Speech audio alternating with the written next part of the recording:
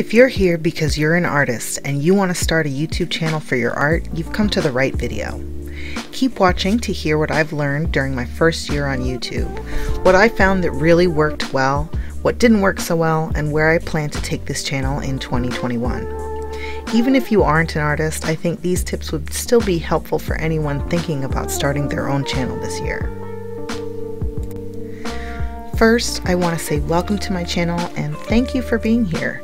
Without the community full of people like you, this place wouldn't be what it is. If you're new to my channel, my name is Noreen and I started my channel one year and one week ago. I mostly paint with watercolors, but I do dabble in other media such as ink, gouache, and acrylics.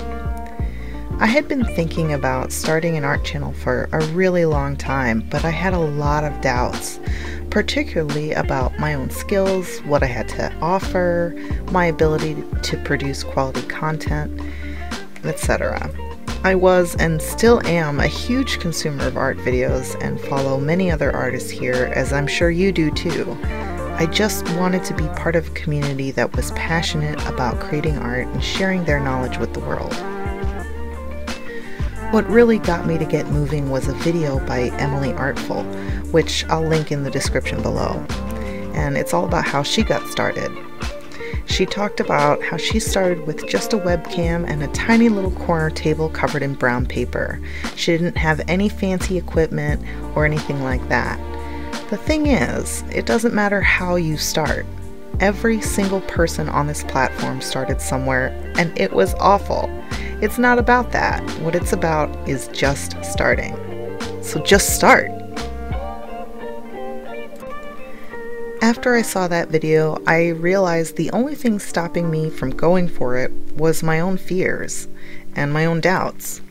Of course, my first videos were awful. I could go on and on about all the things that are wrong with them. But the more videos I made, the more I learned, and the more I improved, and I'm still improving. You have to accept that your first few videos are going to be whatever they're going to be, and all that matters is that you make them.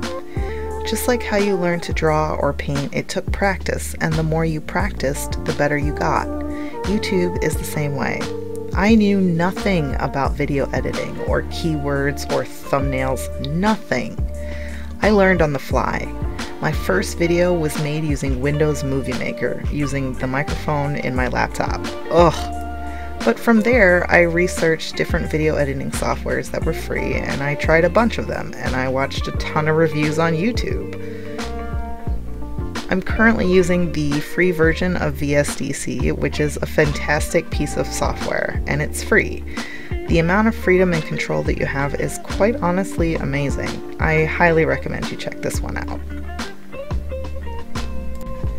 So, what have I learned about making videos over the last year? Besides the technical stuff? Well, a lot. I've learned that you are rewarded for consistency, so that is number one. What that means is if you can get a video posted on a regular schedule, then you're likely to get more views and subscribers than if you only posted randomly every few months.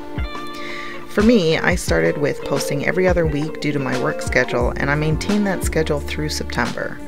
In October, I tried doing Inktober and I had planned to do a video every four days. That was incredibly hectic for me because not only did I still have to work full time, but I was still learning how to edit, so it took me forever.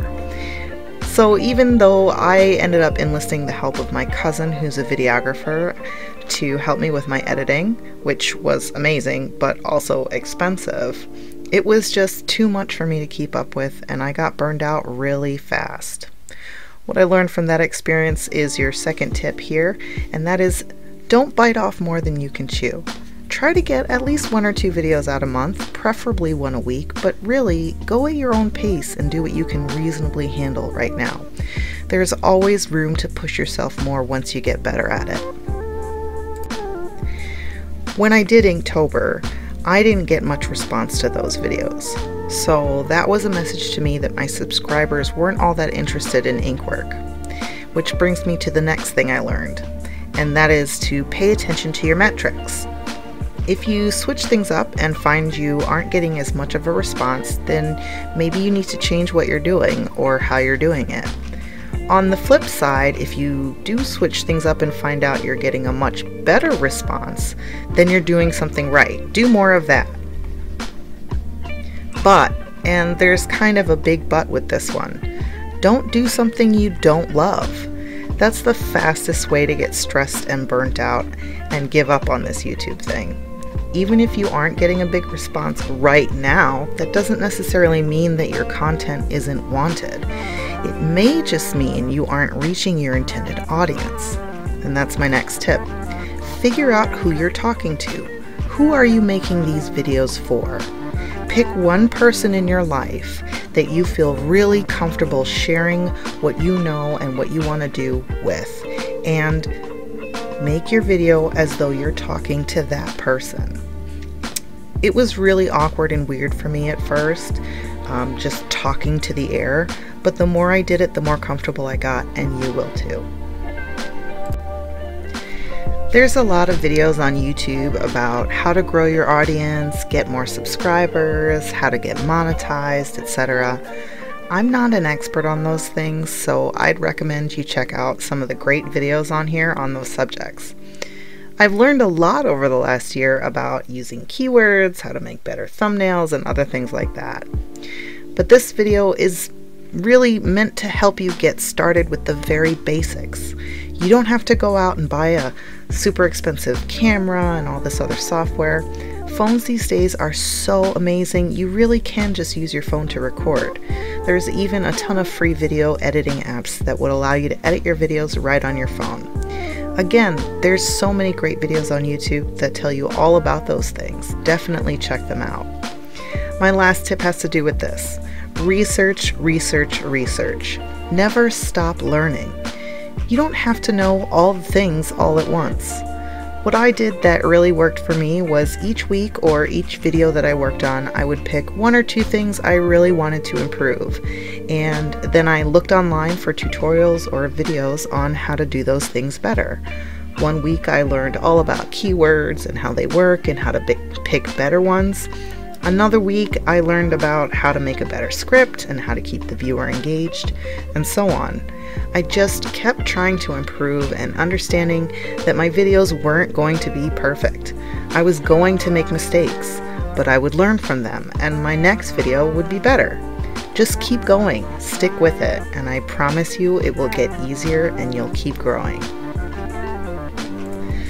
My goal for this year is to hit that 1000 subscriber mark and hopefully get monetized by the end of the year. If you like this video and want to help me reach this goal, make sure you like the video and subscribe to my channel so we can grow together. Thanks so much for watching. I hope these tips were helpful for you and I'll see you in the next video. Bye.